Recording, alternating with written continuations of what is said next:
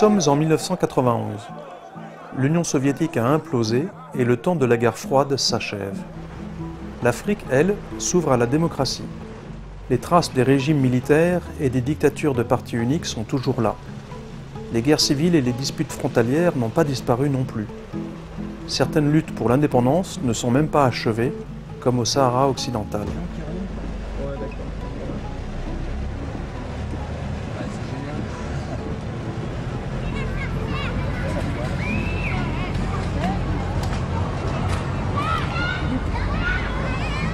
Mais l'Afrique s'éveille, se transforme.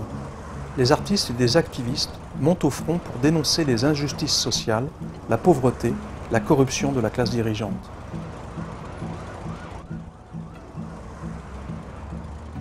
Nous partons avec eux à la découverte du continent en suivant les traces d'un amour de coccinelle. Un chemin à contre-courant des pérégrinations habituelles des routards. En effet, il s'agit de suivre la côte ouest africaine plutôt que de traverser le Sahara en ligne droite. Un cabotage terrestre en quelque sorte. Qui plus est, en partant du sud vers le nord, avec une voiture fabriquée en Afrique et non en Europe. Notre amour de coccinelle est un étrange scarabée d'or de couleur jaune.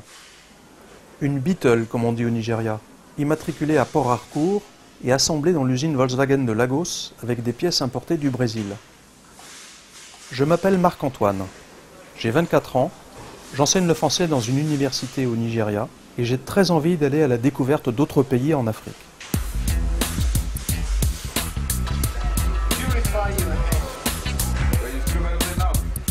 Avec un copain, François, nous faisons le pari d'aller jusqu'en France en suivant la côte.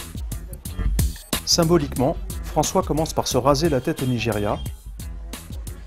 Moi, j'irai chez le coiffeur au Maroc.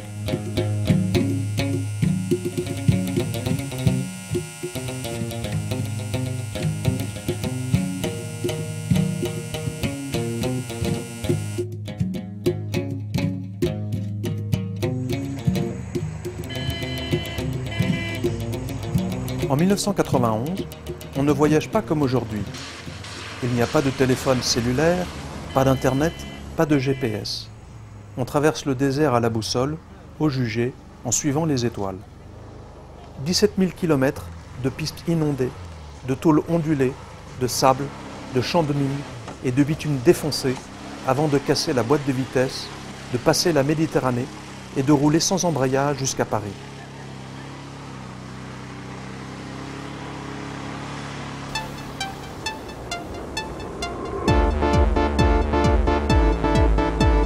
17 août, 17 novembre 1991. Il faudra exactement trois mois pour achever ce périple au cours duquel notre brave coccinelle va traverser 14 pays africains. Nigeria, Bénin, Togo, Ghana, Côte d'Ivoire, Libéria, Sierra Leone, Guinée-Conakry, Guinée-Bissau, Gambie, Sénégal, Mauritanie, Sahara occidental, Maroc. Ce film n'était pas fait pour voir le jour. Il n'y avait pas de plan préconçu. Les images ont été prises à la volée, au gré des rencontres. Elles ont été tournées en vidéo 8. À l'époque, ces cassettes étaient quasiment introuvables en Afrique. Elles ont donc été importées et parfois réutilisées quand il n'y avait plus de bandes disponibles. Il n'y a pas d'image du détroit de Gibraltar pour la simple raison que le stock était épuisé après avoir traversé le Sahara.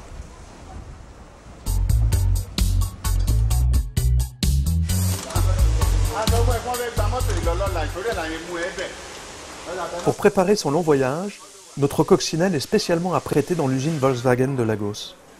Nous ajoutons d'abord un réservoir d'essence supplémentaire dans le coffre. Les roues sont également rehaussées afin de franchir plus facilement les obstacles. Enfin, une plaque de protection est fixée sous le carter du moteur.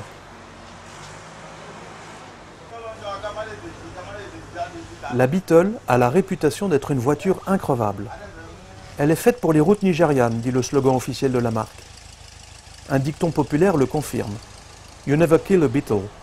On ne tue jamais une coccinelle.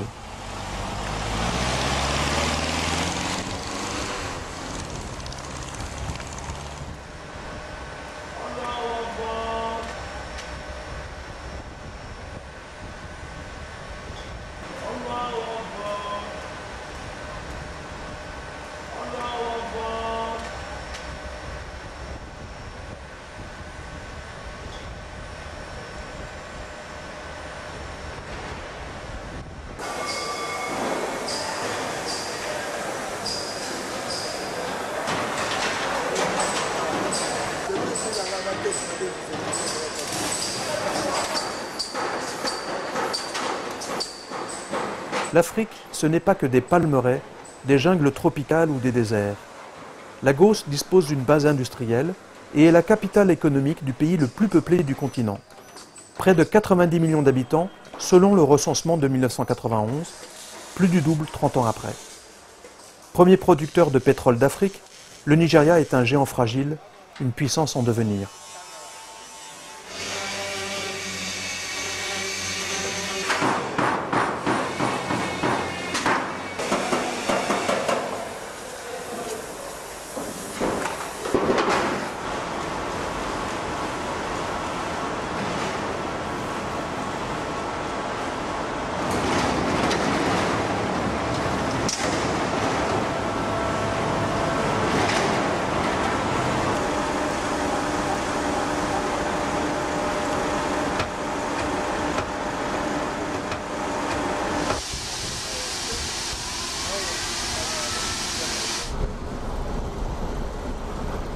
Lagos est une ville tentaculaire, la plus grosse agglomération du continent avec le Caire. Y conduire relève du tour de force. Il faut non seulement y éviter les embouteillages, les goslots en pidgin, mais aussi des attaques à main armée et le racket de policiers qui comptent parmi les plus corrompus du monde. Les agents de la circulation ont été surnommés Yellow Fever par le fameux chanteur Fela Anikulapo-Kuti, champion de l'afrobeat. Des fièvres jaunes, agressifs et teigneux comme des morpions. Most of the road there. It was not written somewhere that it is a strategic place and please do not make Yeah, some picture. The only place Strategic places. forbidden is place military places. So it's Uh, not do you written. know how many military installations you don't, you don't expect to see the signboard of military installation these days as per the system. No more.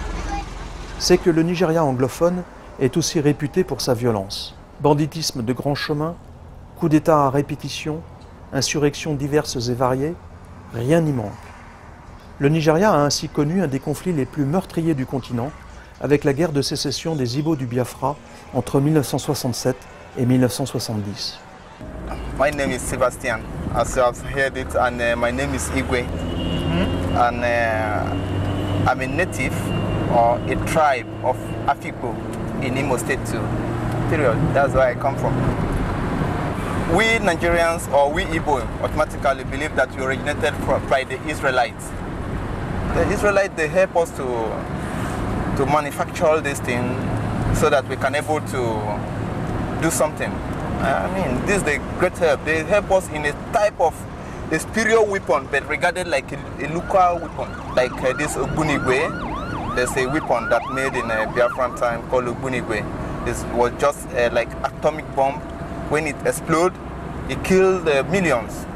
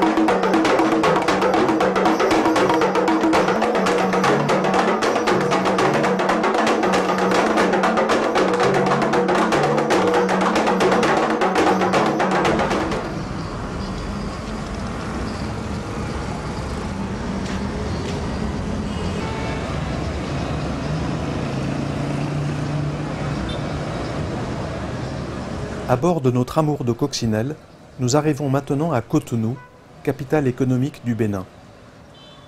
Ancienne colonie française, le pays était autrefois appelé République du Dahomey, en référence à un empire homonyme.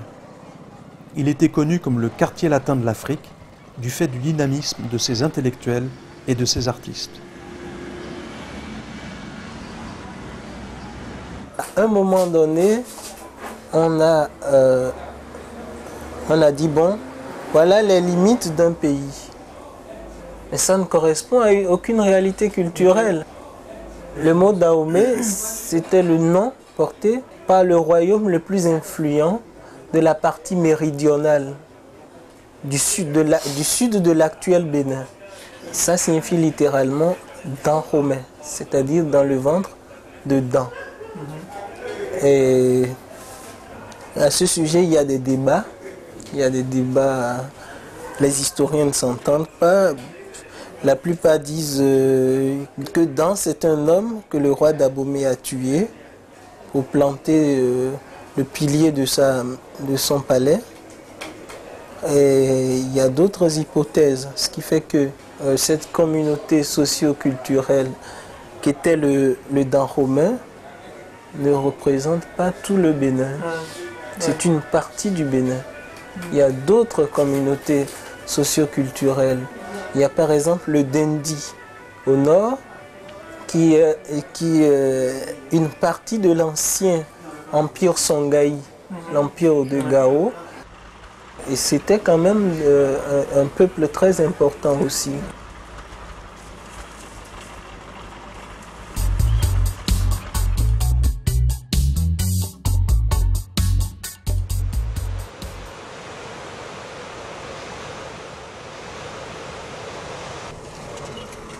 Voisin du Bénin, le Togo est dirigé d'une main de fer par le même dictateur depuis 1967, le général Gnassingbé Eyadema. Dans la capitale Lomé, les habitants essaient de se mobiliser pour demander une démocratisation du régime. En 1991, une grande conférence nationale est censée débattre de l'avenir du pays. Lorsque vous êtes étranger et que vous visitez le Togo, vous êtes d'abord fra- frappé par la docilité des gens. Euh, cette docilité cache euh, une misère cultivée dans le pays depuis 24 ans. 24 ans date de la euh, prise de pouvoir du général Eyadema qui préside, qui est le chef du parti unique, chef des armées et qui a fait la pluie et le beau temps. Les gens en ont marre, mais le système est tel que tu ne peux pas bouger le petit doigt.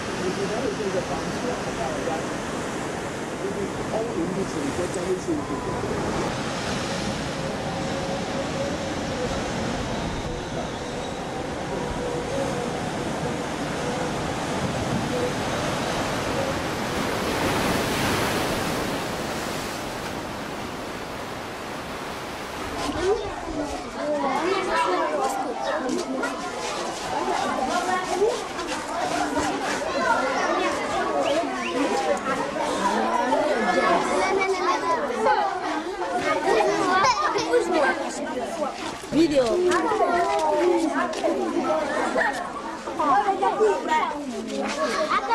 Я не вот хотела.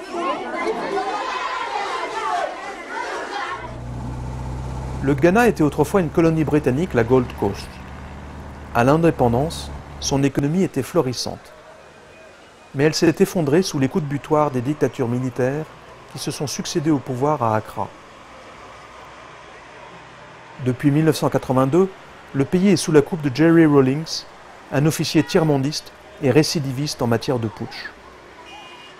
En 1991, le régime est en train de s'ouvrir au multipartisme et à Accra, la capitale, on essaie de s'amuser comme on peut. the whole country, we have only 50 cinemas. Only 50 cinemas, and in the urban areas, in the rural areas, they are in there. America and India, and uh, uh, the this is here we call Chinese films. They are, I think, the kung fu. Yeah, they two are very, very popular here. But in our case, because of uh, what I would say uh, the Ghanaians like to see themselves on the screen. So our films are very, very popular. See, they see uh, Ghanaians people they can identify with. We don't have censorship. You, yeah, you write your script and you don't, you, you just, you, we, we send a copy to them so that they know what we are doing, but they, they don't tell us, delete this portion, do this or do that. And we have a censorship board. After finishing, they will look, uh, they will look through it and if there is anything objectionable, they will ask you to take it out. But even here, it isn't anything to do with ideology or something. there is something obscene, something that it isn't good for people to see, that sort of thing. As a filmmaker, you yourself should have sense of decency. You, there, there, sh- there should be this self-censorship. You see what I mean? Yeah, yeah. You should do the right thing to do. It's a film on the, the part the African soldier played in the last World War. Yeah. Yeah, our people fought in India and Burma. So it's a film on them. We shot in the studio here and the exteriors. Yes. Uh, we did them uh, at a place about 15, 20 miles from Accra. During the First and Second World Wars, we were a colonial territory, you see. By then we ourselves weren't free. But we had to go and fight for the freedom of our colonial masters. You understand me? So we weren't fighting for ourselves. If anything at all, the outcome of the war wouldn't make any difference to us because if the Japanese had won, we all the same would become uh, a territory of Japan. You see what I mean? So we fought to defend the independence of our colonial masters. We, we, we, we, we in fact, uh, sacrificed lives. So now we are free and we are trying to develop. We too, we need help. Don't you think it's, it's, it's natural for them to, to give us aid to develop because of what we helped them to do in the past?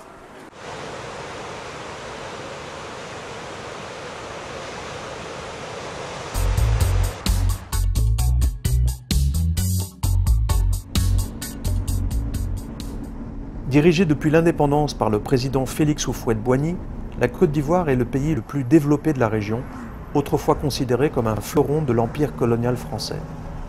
Sa richesse vient notamment de sa production de cacao. Elle lui a par exemple permis de construire de toutes pièces une nouvelle capitale administrative, Yamoussoukro. Située au centre du pays, celle-ci compte très peu d'habitants et paraît bien artificielle relativement à la grosse agglomération d'Abidjan sur la côte mais elle s'enorgueillit d'abriter une basilique moderne qui est réputée être le plus grand édifice catholique du monde. Le bâtiment a été pensé comme une réplique de Saint-Pierre de Rome. Avec quelques différences cependant.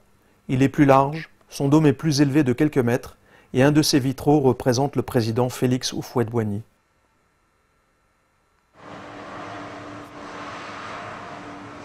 En 1991, la Côte d'Ivoire a encore la réputation d'être un îlot de stabilité dans une région en proie à divers troubles. Mais elle est en train d'être gagnée par la guerre civile qui sévit au Libéria voisin.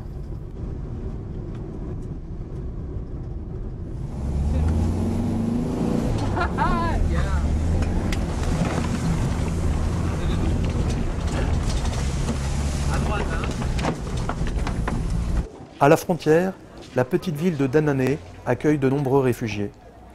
Des organisations humanitaires sont présentes sur place pour accueillir les civils qui fuient les exactions des factions armées en lice au Libéria. Les agences de développement essaient quant à elles de poursuivre leurs activités en Côte d'Ivoire, surtout dans le domaine agricole.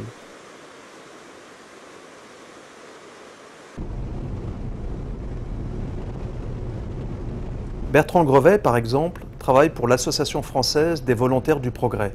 Il est posté à Danané pour y développer la pisciculture.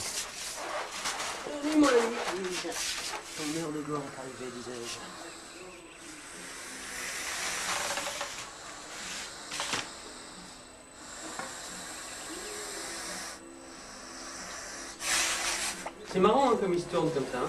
Ça, c'est un moyen de défense. Hein.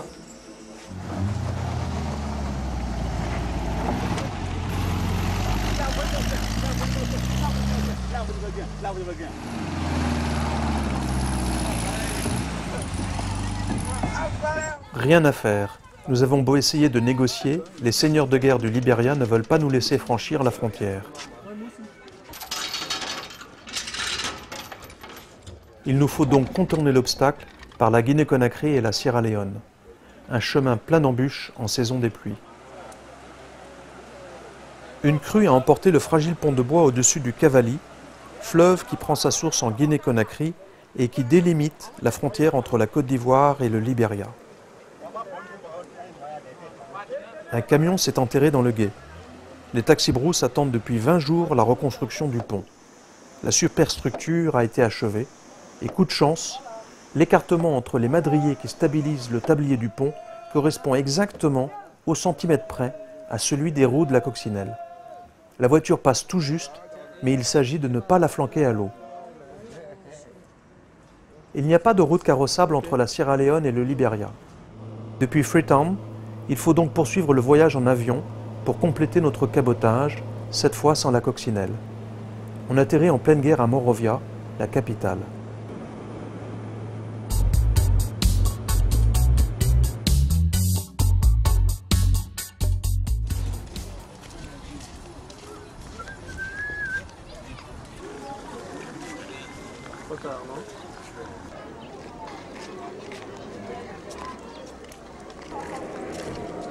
Le Liberia se vante d'avoir été la première république indépendante du continent.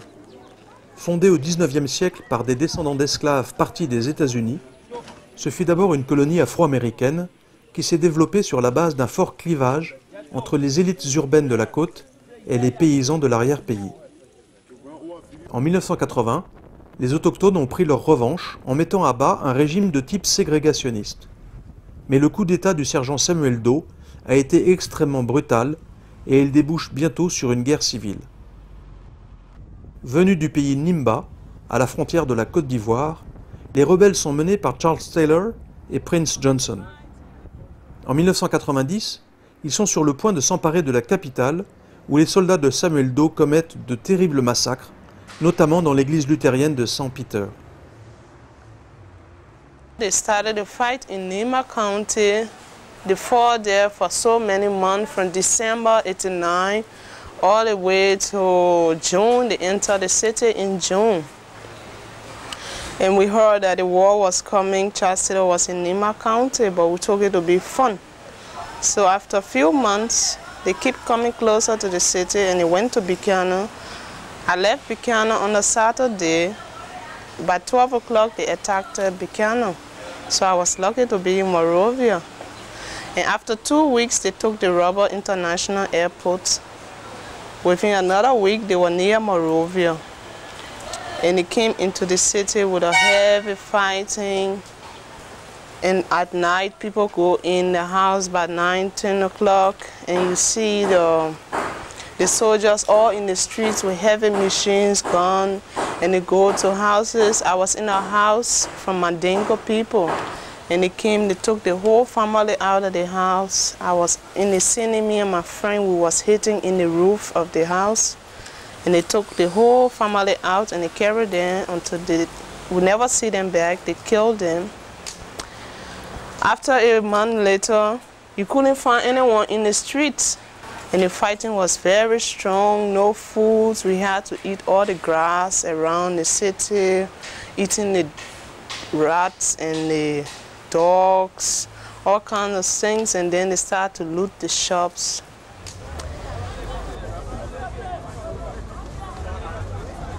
Une force d'interposition panafricaine va intervenir pour essayer de mettre fin au combat. Appelée ECOMOG, elle est dirigée par le Nigeria et placée sous l'égide d'une coalition régionale, la CDAO, ou ECOWAS en anglais. Well, when Ekumo arrived on the sea, which is on the back here, Charles Taylor was about half an, half an hour drive from the Freeport. So he came to attack Ekumo. So it was a lot of shooting and bombing and things. And Taylor did bomb the Ekumo, but it didn't touch the Ekumo. It went into the Freeport and many civilians died there because it was a lot of civilians who was waiting to get aboard the ship to leave the country. And they fought for almost two weeks and Ekumo drove them back from the city. And Johnson was the one who captured Doe at the Freeport. Doe was trying to escape with a Nigerian ship. And the American called him on the radio and told him that Doe is at the Freeport. And Johnson was there with his boys and they fired him in the legs and they took him on the base. And they cut his ear, they step on his neck, they cut out his two ears, cut out all his fingers, his toes. They gave him some kerosene to drink and his body become to swell up from the kerosene and all this because it's a poison, you know. And then he died and he was bleeding so much from his ears and his fingers. So he died from this pain. Nous revenons en avion sur Freetown pour reprendre notre coccinelle et poursuivre notre cabotage par la voie terrestre.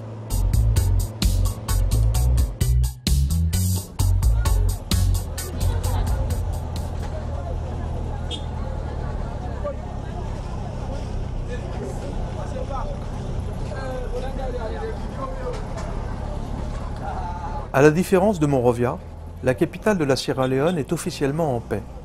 Mais plus rien n'y fonctionne. L'unique centrale du pays ne fournit plus l'électricité. Sa dernière turbine en état de marche vient de tomber en panne. Et la Sierra Leone bat un triste record. Son indice de développement humain est le plus mauvais du monde d'après le classement des Nations Unies pour l'année 1991. À Freetown, il n'y a plus du tout d'électricité, d'eau courante et d'essence à la pompe. Il faut s'alimenter au marché noir.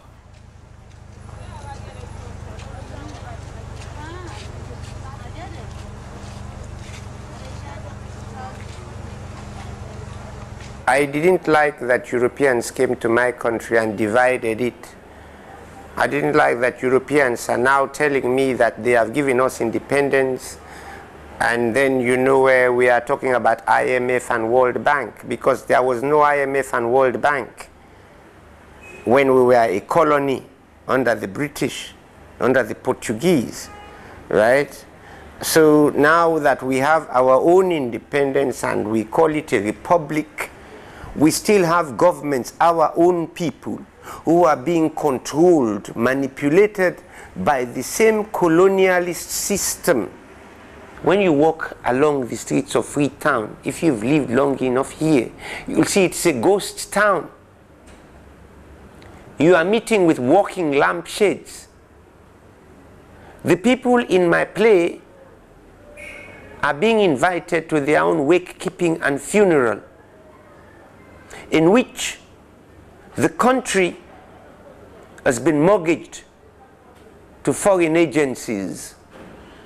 And this young man sitting here plays the mask.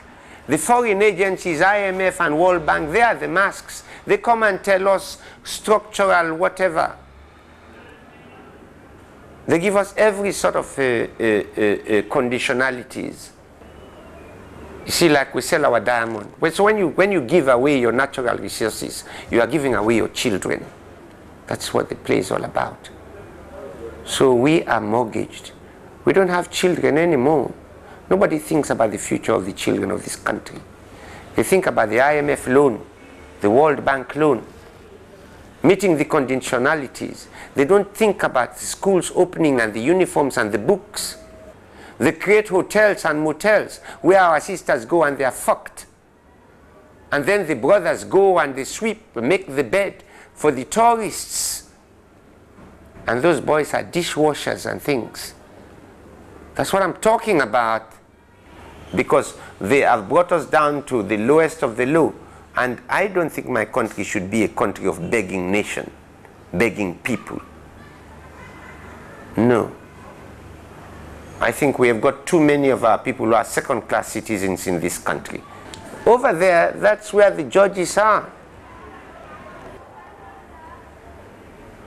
They are as corrupt as the ministers. I'm not afraid to say it. Down the road, you know, you've got uh, the uh, police. They're equally corrupt. I am corrupt. Everybody is corrupt in this country.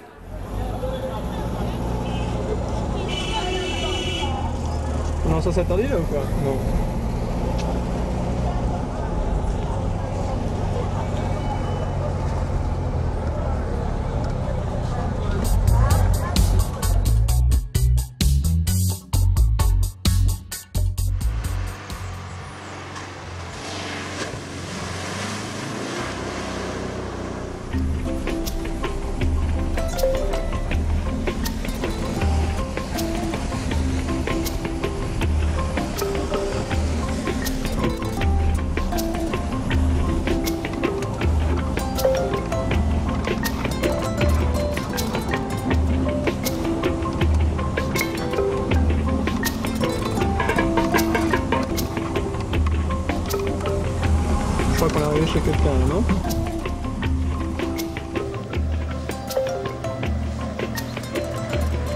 Francophone, la Guinée est un pays très pauvre.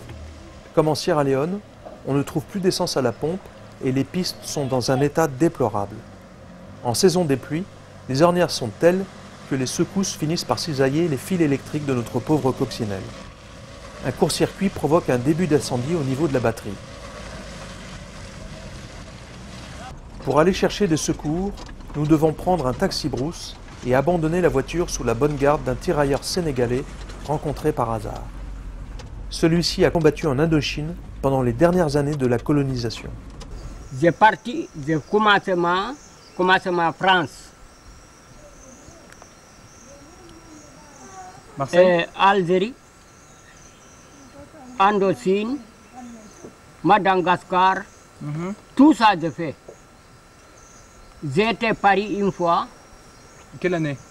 à 54. L'Indochine aussi Indochine, En quelle année monté Indochine à 52, j'ai retourné à 54. Saigon, oui, Saigon, c'est rentrant, en rentrant premier poste de Saigon. Si tu quittes à Marseille, c'est Saigon qui va arriver après. Tu passes Djibouti et tu passeras, tu passeras euh, Canal de Suez. Tu allais maintenant, tu rentrerais à Saigon. Une fois que tu rentrerais à Saigon, c'est premier poste de Vietnam. combien, combien de jours tu mettais de Marseille à Saigon Hein Quand tu quittes Marseille, tu mets combien de jours jusqu'à Saigon Et Saigon, euh, Saigon, Marseille, je fais 17 jours. 17 jours. 17 jours, euh, pasteur, bâton pasteur. J'ai quitté Saigon, j'ai fait 8 jours entre Saigon et Tonke.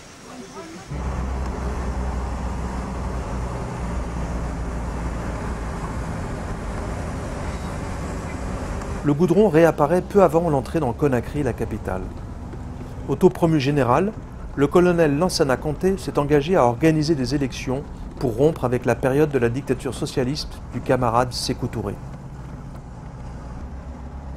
En attendant, la jeunesse continue de vivre sous le poids de la tradition d'une société patriarcale.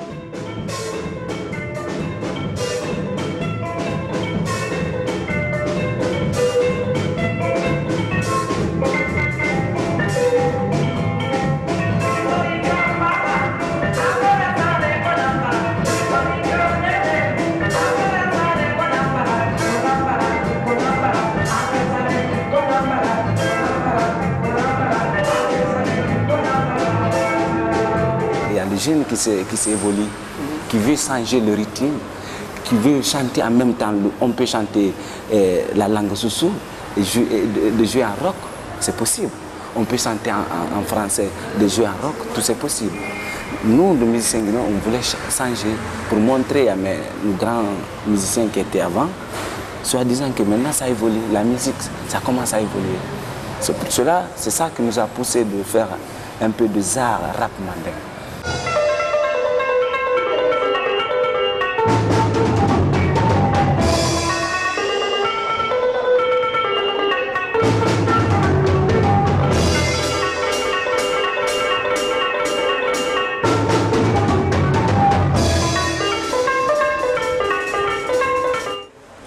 Qu'il n'existe pas aujourd'hui en Guinée de, de groupes qui puissent se permettre de dire certaines vérités.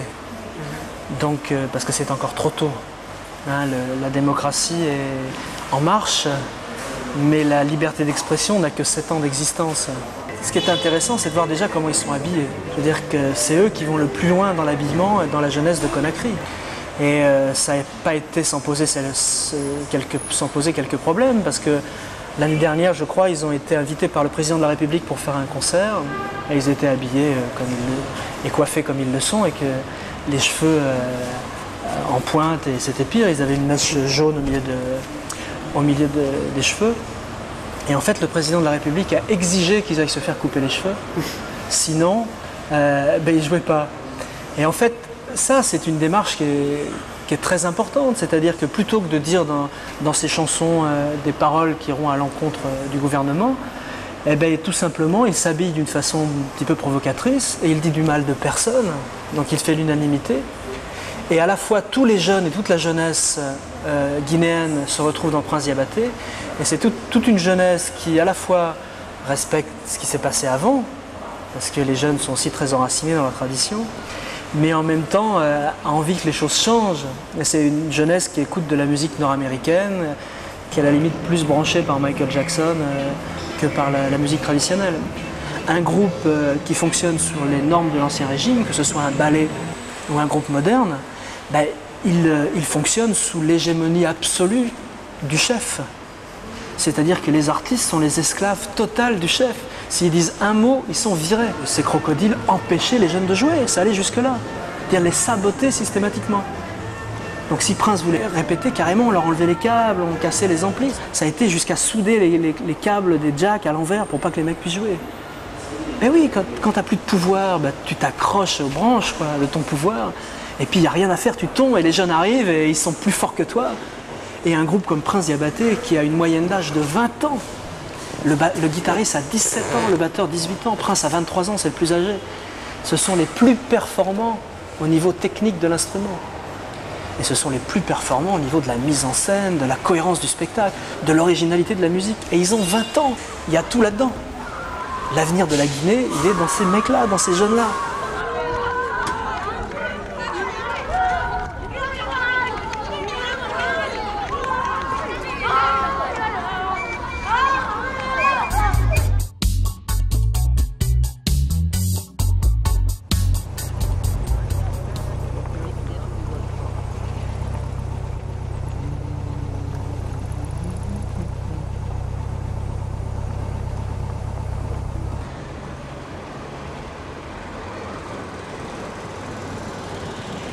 La Guinée-Bissau est une ancienne colonie portugaise qui a obtenu son indépendance tardivement, en 1974, à la suite de plusieurs années de lutte armée. C'est un pays qui a fait la guerre. C'était à la période de la guerre, la lutte de libération de la Guinée-Bissau. On avait des bourses de Cuba. comme à l'époque, on avait aussi des bourses de presque de tous les pays de l'Est, à l'époque les pays socialistes.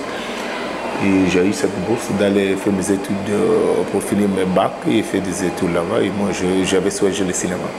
Cuba, c'est un pays socialiste. Euh, il y a son, il y a leur façon de voir les choses. Mais moi, avant tout, je suis africain, je suis la Guinée-Bissau, j'ai ma réalité, la réalité de mon pays tout à fait différente. Mais de longs métrages, c'est le premier qui a été fait en Guinée-Bissau. C'était très très difficile parce qu'on n'avait pas de comédiens professionnels. Et les gens ils étaient vraiment très solidaires, ils sont venus, et c'était très très bien passé. il y a des gens qui ont entendu parler de la, guerre, ils n'ont jamais imaginé comment ça se passait, la difficulté, parce que la guerre, pour eux, c'était la mort, les gens qui meurent. Mais dans ces films, c'est pas ça qui est plus important c'est la vie des hommes dans, cette guerre.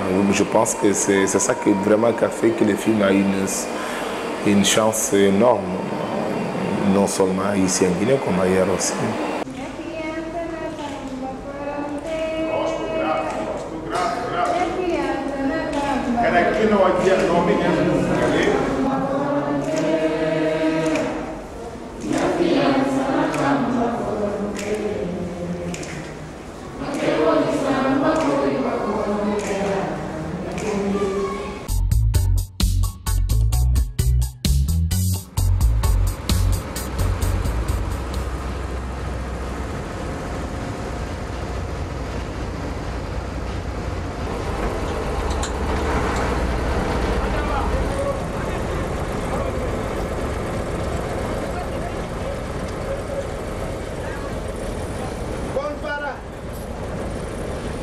Prenons un bac pour aller en Gambie.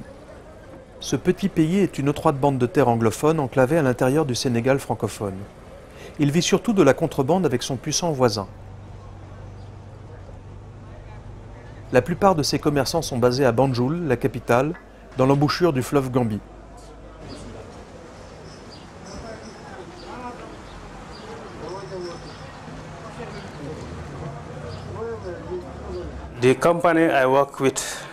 Is called Amdalai Trading Enterprises. We are dealing in many type of uh, business because we are importers and exporters of uh, many articles to the Gambia. Things like cement, rice, sugar, timber, corrugated iron sheets. Every businessman is freely allowed to bring any kind of goods to the Gambia here.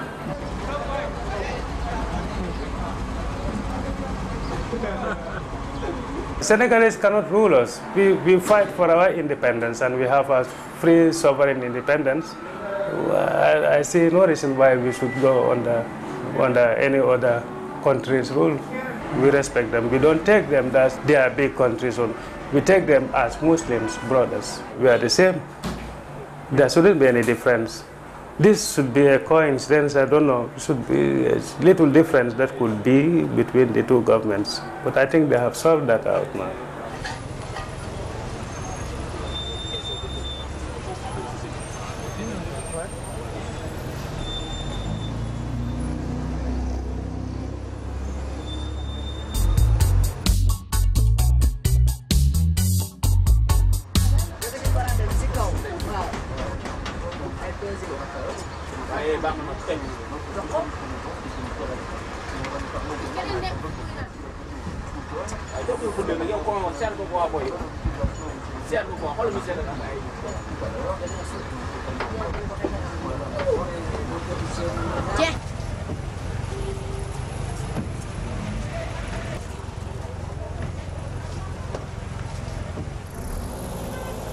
Sénégal fut le point d'appui de la colonisation française de l'Afrique de l'Ouest.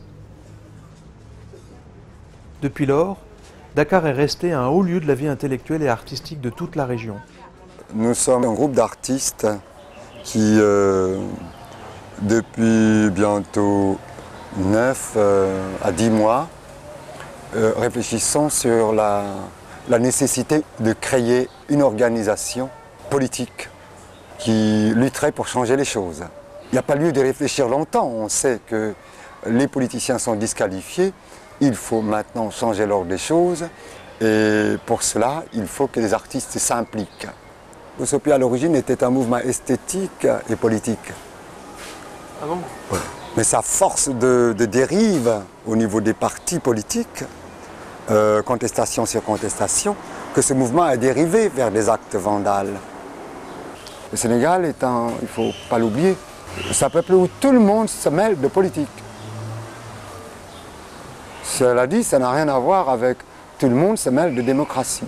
Ça n'a rien à voir avec ce, cette possibilité de dire ce qu'on pense, qui est dans son tempérament. La politique, tout le monde s'en mêle parce que tout le monde en parle, mais tout le monde ne vote pas. Le Sénégal est un pays de démocratie, un pays qui connaît le multipartisme.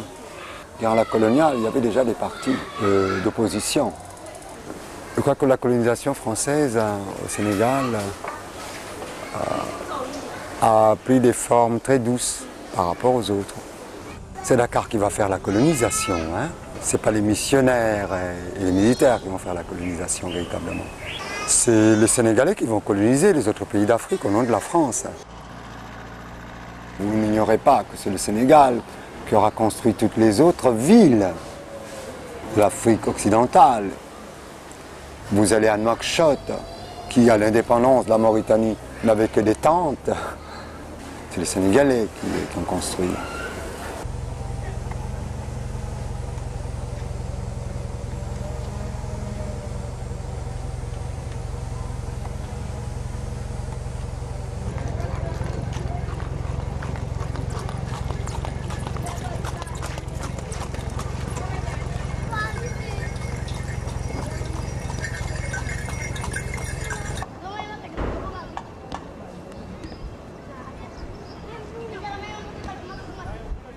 La frontière avec la Mauritanie est fermée depuis que de sanglants affrontements communautaires ont opposé les deux pays en 1989. Nous devons négocier trois jours avec l'armée pour que la coccinelle ait l'autorisation de traverser le fleuve Sénégal sur un bac.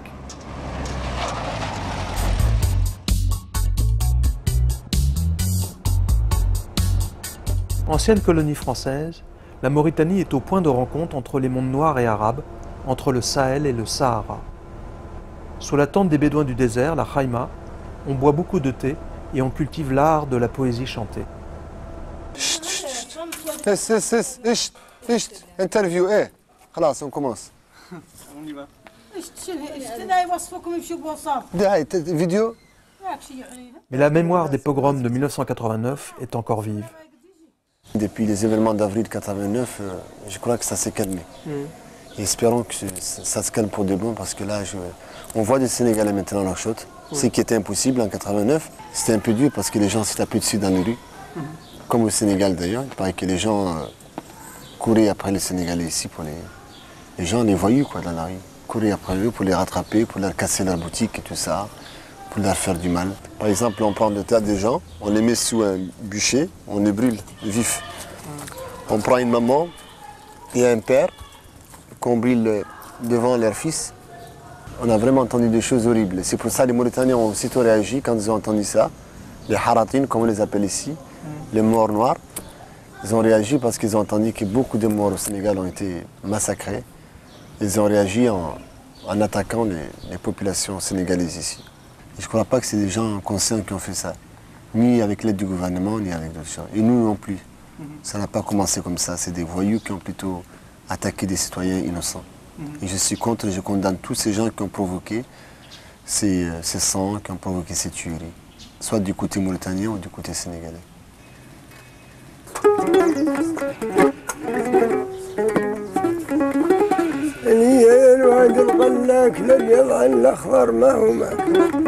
Un projet qui me tient beaucoup à cœur, c'est de, de réconcilier nos deux, nos deux populations, les Mauritaniens et les Sénégalais. Je crois que ce n'est pas par les biais du gouvernement qu'il faut faire ça, c'est surtout faire des concerts, réconcilier les populations avec de la musique.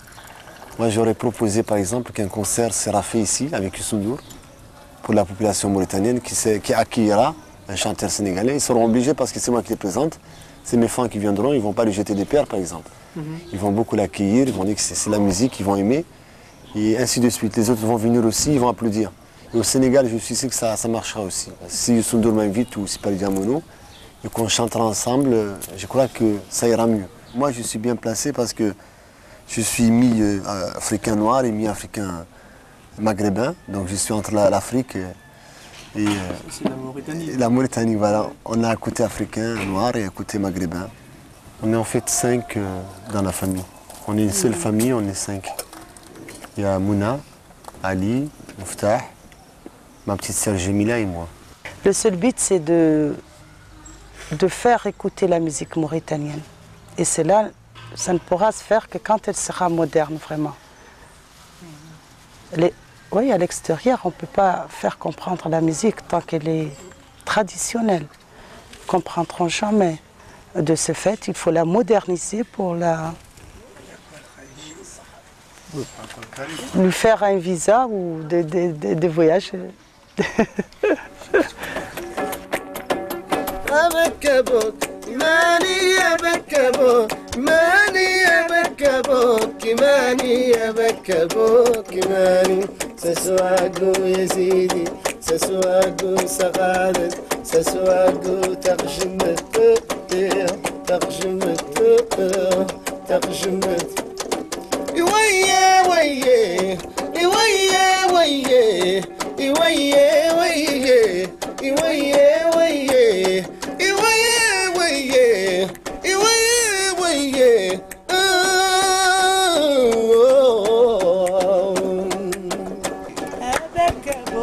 ماني يا بكبوك ماني يا بكبوك ماني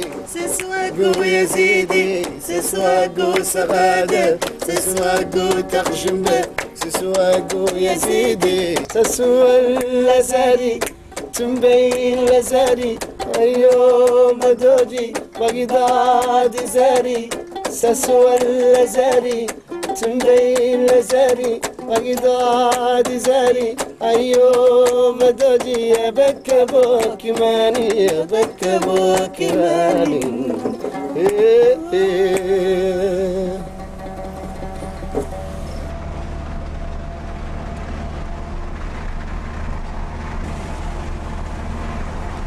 N'y a pas de route goudronnée vers le Sahara occidental et le Maroc.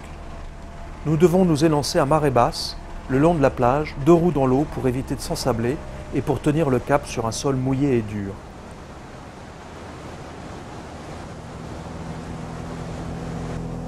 Le chemin s'arrête à Noamgar, un village de pêcheurs et une des anciennes étapes de l'aéropostale du temps de Saint-Exupéry. La piste s'enfonce ensuite dans le désert pour contourner le banc d'Arguin où a échoué le fameux radeau de la Méduse.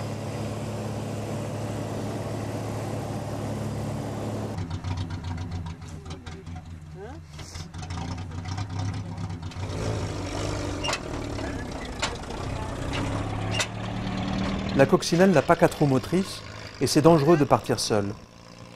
Il faut attendre le passage de Taxi Brousse pour être accompagné. Deux vieilles Land Rover feront l'affaire et sortiront la coccinelle des sables mouvants des marécages au large du banc d'Arguin.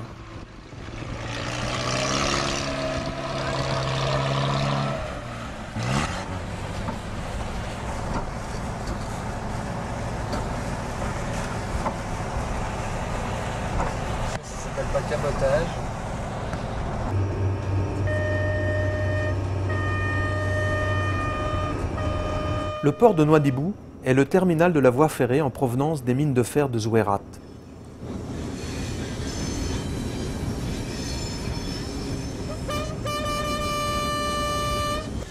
Son train est réputé être le plus long du monde. Ses wagons s'alignent sur plus de 2 km.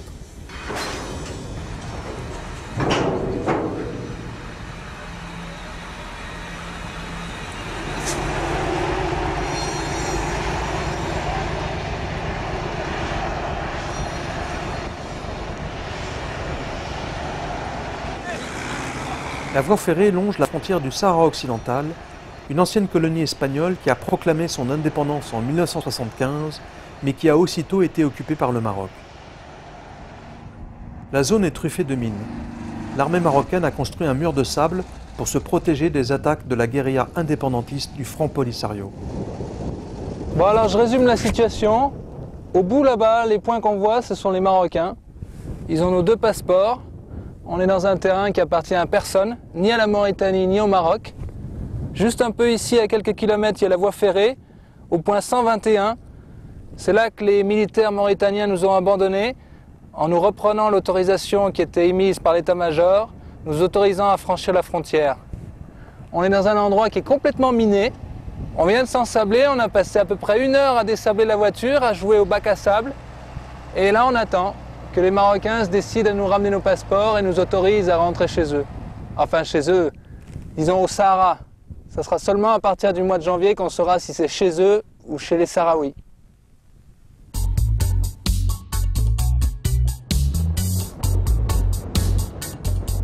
Nous avons paré la coccinelle d'un drapeau blanc pour qu'on ne nous tire pas dessus.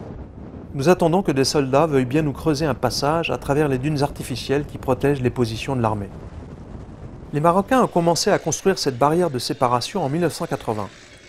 Un cessez-le-feu vient d'être proclamé et la coccinelle sera la première voiture à la franchir depuis la Mauritanie. Du goudron, enfin, cela faisait longtemps. Son capot orné d'un os de chameau, la coccinelle entre discrètement à La Ayoun, la capitale du Sahara occidental. Les Nations Unies ont prévu de superviser un référendum d'autodétermination afin de statuer sur le sort du territoire.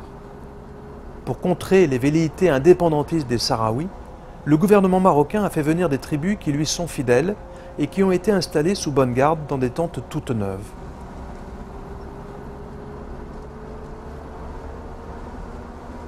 Les autorités n'ont pas lésiné sur les moyens. Pour faire pencher la balance en leur faveur, elles ont également subventionné l'arrivée de Marocains qu'elles ont logés dans des immeubles très récemment construits. Sous divers prétextes, elles parviendront finalement à torpiller la tenue d'un référendum qui ne verra jamais le jour.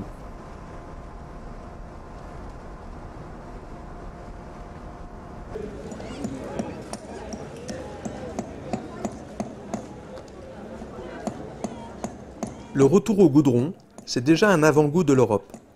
Après tant d'épreuves, nous avons cassé la boîte de vitesse et nous roulons désormais sans embrayage. Mais notre brave coccinelle nigériane tient bon et parvient à franchir le Maroc, la Méditerranée et l'Espagne pour aller jusqu'en France. Malheureusement, il n'y a plus de cassettes vidéo et plus d'argent pour filmer notre arrivée à Paris.